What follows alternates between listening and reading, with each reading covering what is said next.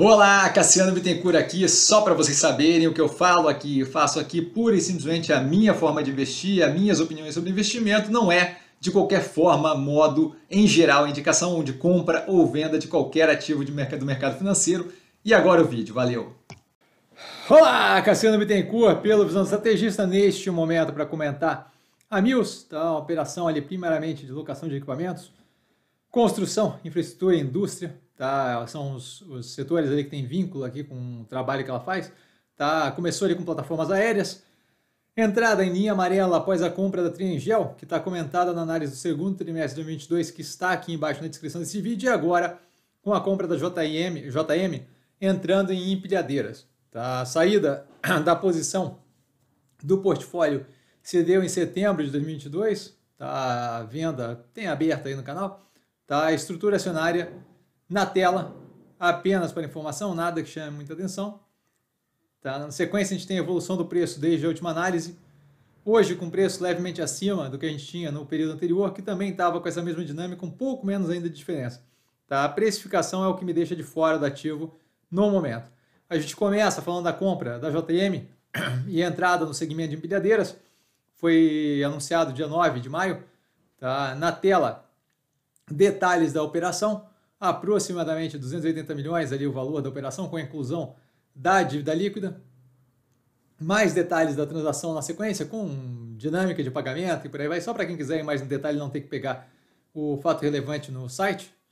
Tá, a operação com forte know-how de manutenção, quando eu falo JM tá operando com maquinário premium, tá forte concentração no agro, no agro, que é algo a observar, não é agro especificamente, mas todos os setores ali vinculados ao agro compõe 45%, se não me engano, do, do, do faturamento aí. Então é algo a observar. Perfil comercial com contratos alongados e baixa concentração de cliente, o que é algo positivo. Tá? Um pouco mais sobre o mercado de intralogística na tela, tá? agregando fortemente ao portfólio da Mills, que já opera em alguns daqueles ali, né? a gente vê ali caminhões, vê também plataforma elevatória ali, tá? de locação, ela expandindo para mais o setor aí, vem é, conseguindo fazer o trabalho dinâmico, a mesma dinâmica em outros setores, que vem também com forte possibilidade de cross-selling. Tá? 60% dos clientes, pelo menos, já foram identificados ali como clientes que poderiam, que fazem uso desse tipo de serviço e que poderiam passar a fazer é, singularmente com a Mills, ali, né? concentrando no mesmo lugar, possivelmente conseguindo ali, algum acordo comercial mais, mais favorável.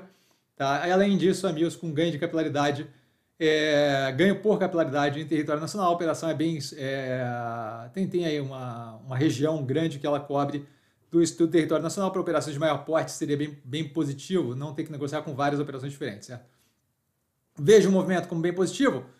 O due diligence mostra mais um trimestre bem positivo da Mills, tá? com é, a estabilização do crescimento comentado no mesmo trimestre do ano passado, que parecia estar nesse, nesse período. A gente vê aqui a clareza, evidência, a clareza, a clareza evidente disso, de que ela chegou ali num período de estabilização tá? do crescimento, agora mais orgânico, menos agressivo. A JM não, não aparece no resultado aqui, obviamente, porque foi divulgada recentemente. Né? A própria, o início do acordo foi em maio, isso aqui é o primeiro trimestre de 2024. Evolução da frota, para dar um pouco mais de cor na tela, tá? aumento mais forte em pesados, o que não conta muito no número, mas é uma evolução é, no tipo de serviço prestado, é patrimônio total da frota, certo? A abertura de concentração de clientes com o mesmo, com o mesmo intuito de dar um pouco mais de cor, tá? Apenas para informação. Receita líquida com crescimento de 8,8% versus o mesmo período do ano passado e uma queda de 3,8% versus o mês anterior. Vale lembrar aqui que a gente tem um pouco de sazonalidade versus o final do ano, tá? no, no primeiro trimestre. A estabilização comentada aí no ano contra ano.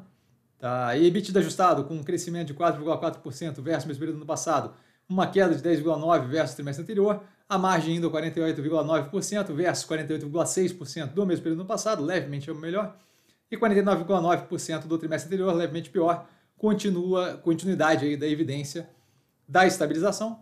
O lucro líquido com crescimento de 2% ano contra ano, 16,4% de queda versus trimestre anterior, finalizando confirmação de estabilização aqui, o quarter on quarter versus trimestre anterior, com efeitos de sazonalidade comentados anteriormente, tá?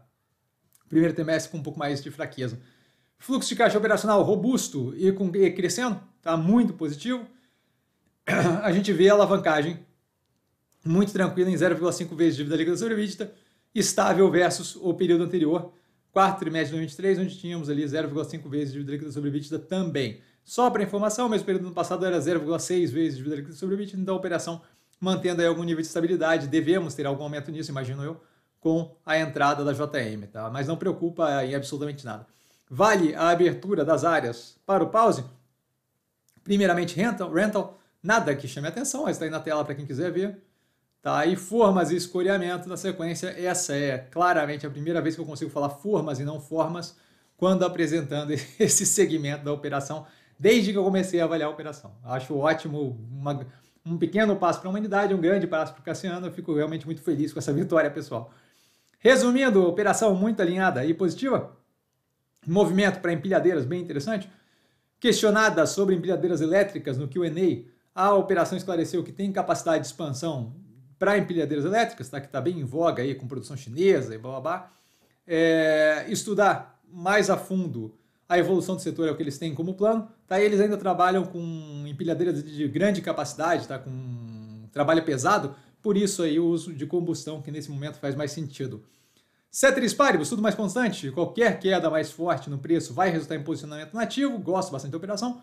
E finalizando, gosto muito ativo, como dito, a tese extremamente alinhada grande espaço para expansão, como a gente tem visto acontecer consistentemente, certo? Triengel, agora JM.